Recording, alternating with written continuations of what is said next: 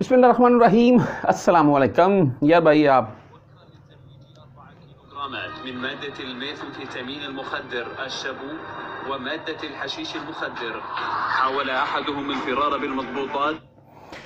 मैं आपको ना ये पिक्चर अभी दिखा रहा हूँ ये वीडियो क्लिप आपको चलाकर भाई दिखा देता हूँ मैं यार ये चार पाकिस्तानी गिरफ़्तार हुए हैं मसला क्या बना यार देखें, पाकिस्तानी हज़ारों गिरफ़्तार होते हैं। मैं खुद दो बार गिरफ़्तार हुआ हूँ। सॉरी ताइफ से आता हुआ शमेसी वाली जेल जो है मक्का से आते हुए, रास्ते में जो शमेसी जेल आती है वहाँ पर चेक पॉइंट के ऊपर रोका गया और हमारे पास हमने वो गाड़ी पीछे का लोड की हुई थी ट्राले के ऊपर और उसकी भाई वो परमिशन नहीं थी कंपनी का पेपर लेने भूल गया। तो हालाँकि खुद ही उसी कंपनी में थे हम तो भाई उन्होंने उठाया और शमेसी जेल में सीधा लेकर, सारी रात जेल में रखा। सुबह वो जब ड्यूटी बदली, नया अफसर आया, यानी कि नया आप डीएसपी बोल रहे हैं तो उसने आकर भाई वो हमारे ही कामे रात को कौन कौन गिरफ़्तार हुआ लेके आओ। हाँ भी कामे दिखाओ कामे देखे कामे वैलिड है, ठीक है, कोई मसला नहीं, गाड़ी पेपर के तरह पेपर भूल गए बस। उसने बोला, चलो जाओ।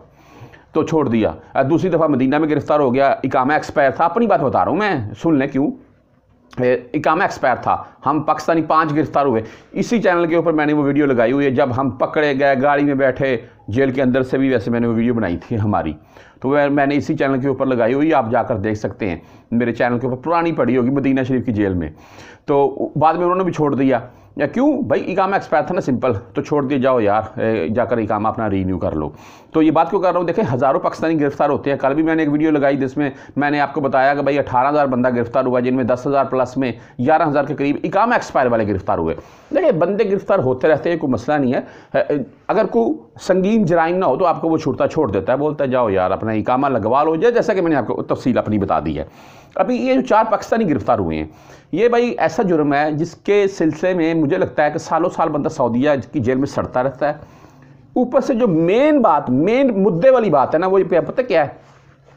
जब हम प्रदेश का सफ़र करते हैं, परदेसी तो क्या सोच कर करते हैं? पीछे किसी की बीवी है, उसके बच्चे हैं अगर किसी की शादी नहीं हुई है, बीवी नहीं है तो उसके बहन, भाई, माँ, बाप, रिश्तेदार, बूढ़ी माँ, बूढ़ा बाप, क्यों भेजते हैं अपने बेटे को?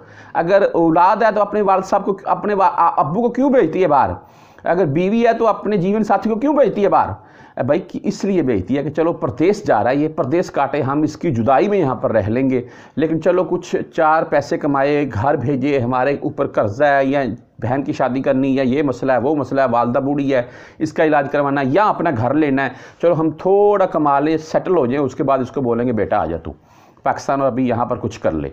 ठीक है? हाँ वो मुख्तल, वो अलग बात है कि भाई फिर सालों साल परदेसी को वहाँ पर ही गुजर जाते हैं।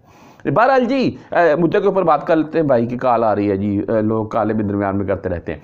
अच्छा जी मुद्दे की बात ये है साथ में आपको क्लिप चलाकर दिखा रहा हूँ मैं। ठीक है, ये चार बंदे पाँच हैं, लेकिन चार पाकिस्तानी हैं इनमें, ठीक है? ये जद्दा में गिरफ़्तार हुए हैं बाकायदा, किसी दूसरे शहर में नहीं।